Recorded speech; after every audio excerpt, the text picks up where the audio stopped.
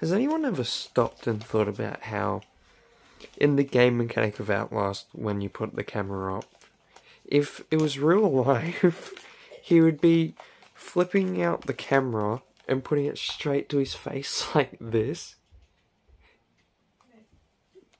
Because, um, like, to get a clear view, like, obviously it's bigger than this one here, but he'd be putting the camera straight to his face like this and running down the hallways like this.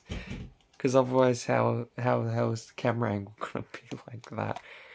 I just find that pretty funny that I've realised that the other day when I um found this camera laying around.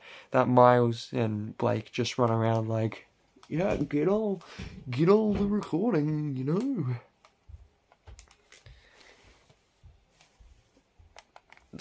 That guy this.